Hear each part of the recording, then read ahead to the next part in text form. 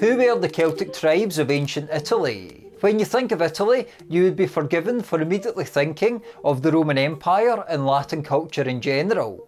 In fact, arguably the most famous Roman, Julius Caesar, completely wiped out the home of Celtic civilization in the ancient world, Gaul. But Celts have played an epic part in the history of Italy. This is Cisalpine Gaul, an area around the Alps in the north of modern Italy.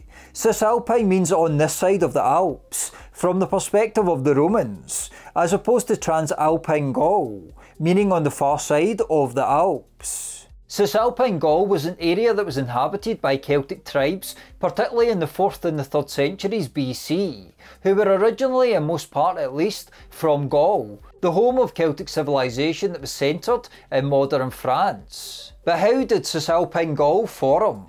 Well, it formed over centuries. In fact, one of the oldest Celtic languages that still left us inscriptions to this day is the Lepontic language, a language that was spoken in northern Italy and Switzerland, these ancient places, from around 550 BC until around 100 BC. It was spoken by an ancient Celtic people known as the Leponti, who lived around the Alps. They seem to be one of the earliest Celtic peoples to settle in this area. Another ancient Celtic people to settle in this area early on were known as the Insubres, an ancient Celtic population who settled in what is now the Italian region of Lombardy. They were the founders of the ancient city of Mediolanum, modern day Milan. Other Celts would soon follow, however. Now if you would like to support my work so I can make better videos, please check out my links in the video description below to my merch store where you can pick up t-shirts, mugs, jumpers um, and other products and also to my Patreon page. There is also an option to buy me a coffee. Thank you and now on with the video. Various Celtic tribes migrated from Gaul and across the Alps to settle in the north of Italy near the Po River in around 400 BC. The Lingones were one of those people, known as an agricultural people that were skilled in metalworking and in weaving. Other tribes that came over in this wave of Celtic migration from Gaul over the Alps to settle in what became known as Cisalpine Gaul included the Cenomani, the Boii and the Senones. As well as settling in Cisalpine Gaul, the Boii had a presence in various other parts of Europe. The Senones had led Celtic tribes in the sack of Rome around 390 BC under the leader Brennus, but they soon fell back north to the northeast of modern Italy. They ousted the Italic people known as the Umbrians in the process. This concentration of Celtic tribes in the north of Italy meant that this whole region became known as Cisalpine Gaul, or Celts on this side of the Alps.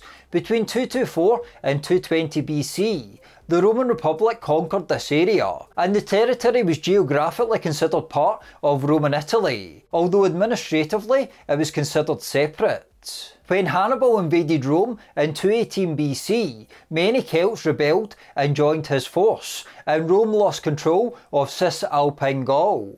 They soon recovered this territory, however, in the subsequent decades. When Rome finally conquered the Celtic and Insubres and Boii tribes between 198 and 191 BC. By around 81 BC, Cisalpine Gaul was considered a Roman province. Then in 49 BC, all inhabitants of Cisalpine Gaul received Roman citizenship. And then in 42 BC, Cisalpine Gaul became part of Roman Italy proper. Despite going on to be part of Roman Italy, the Celtic history of this region, the epic Celtic history of this region, speaks to the history of the Celts in so many parts of Europe. But what does Celtic even mean? To find out, please click here. Thanks for watching, please subscribe and hit the bell. For ways to support, they will be in the description below. Please also tell your friends and family about this channel and let me know your thoughts in the comments below. Thanks again for watching and I'll see you next time.